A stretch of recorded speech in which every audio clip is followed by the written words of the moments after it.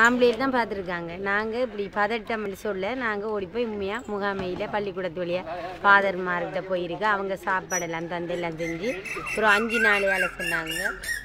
அஞ்சு நாளையால் சொன்னாங்க. உங்களோட ஊருக்கு நாங்கள் எஸ்டிஎஃப் பாதுகாப்பு போட்டுட்டோம். நீங்கள் போகலாமான்னு சொல்லி சொன்னாங்க. அப்போ அதுக்கு பிறகு நாங்கள் இருக்கே இல்லாதானே பாதுகாப்பு கொடுத்துட்டாங்கன்னு இங்கே வந்திருக்கோம். இப்போயும் நாங்கள் நைட்டில் என்ன செய்கிறேன்னு சொன்னால் இப்போ கொஞ்சம் கொஞ்சம் பேர் கூடி கூடி இருந்து தள்ளி தள்ளி போய் தூக்கம் செய்கிற அப்புறம் ஸ்கூல் இன்றைக்கு தான் ஒழுங்காக நடக்குது. எங்களுடைய ஸ்கூல் வந்து இன்றைக்கு தான் ஒழுங்காக நடக்குது. அப்படி பிரச்சனைப்பட்டு ஓடினோம். அதுதான் நாங்கள் பிறகு பொம்பளையெல்லாம் கண்ணால் காணலை. அவங்க வாராங்கன்னு சொல்லி நாங்கள் பொம்பளை ஆனால் ஆம்பளை நிறைய பேர் எஸ்டிஎஃபோட நின்றேன் ஊருக்கு நின்ற இடத்த அவங்க தான் டயர் போட்டு பற்ற வைக்காங்க. இப்படி அடிக்க வராங்க. அடித்த பொடியனுங்கள் இருக்காங்க அப்படின்னு சொன்னேன். இப்போ நாங்கள் இப்போ இப்போ தான் இப்போ கொஞ்சம் காலம் இந்த ஒரு ரெண்டு மூணு நாள் கூடி தான் அந்த ஏற ஒரு மெயினால் போய் ஒழுங்க வாரம் அப்படி பதட்ட நிலையில் இருந்தேன். நீ அவங்களும் அப்படி தான் இருக்காங்கன்னு சொல்கிறாங்க எங்களுக்கு தெரிஞ்சாங்க உங்களை மாதிரி தான் நாங்களும் இருக்கோம்னு சொல்லி. ஆனால் நாங்கள் உண்மையாக கண்ணால் காணலை. அவங்க இப்படி செஞ்சேன்னு சொல்லி. ஆனால் எஸ்டிஎஃப் வெடி கேட்டது அது இதெல்லாம் நாங்கள் கேட்டோம். இப்படி இரவையில் சொன்னாங்கள ஒரு மணி மட்டில் அது உண்மையாக ஆறு வந்தேன்ட்டு தெரியாதா?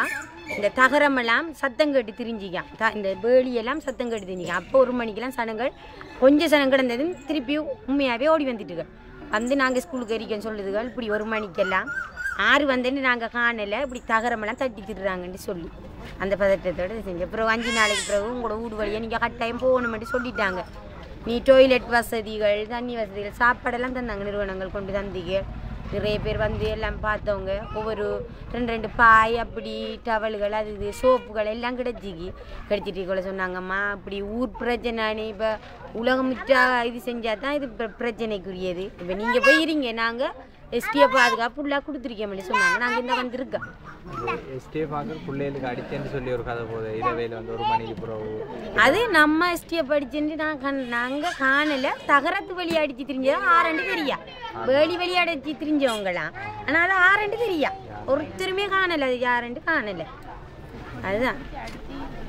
இப்போ நீங்கள் இது போனது பிறகு உங்களோட வீட்டு உடைமைகளுக்கு ஒன்றும் சேதம் இல்லை இல்லை. அப்படியெல்லாம் இல்லை. இந்த சும்மா இளநிகள் அது இதுகளை வெட்டி குடிச்சதான்னு சொல்லி சனங்களை கும்பிக்க அதுகள் தானே தவிர மற்றது அவங்க ஒன்றும் தூக்கையும் இல்லை. மற்றொரு சாமானும் போகையும் இல்லை. யாருக்கும் உயிரிழப்புகள் அப்படி ஒன்றுமே இல்லை. அவங்களோட முஸ்லீம் ஆக்களுக்கு தான் நாம் ரெண்டு பேருக்குன்னு சொன்னாங்க. அதுவும் நம்ம காணால காணல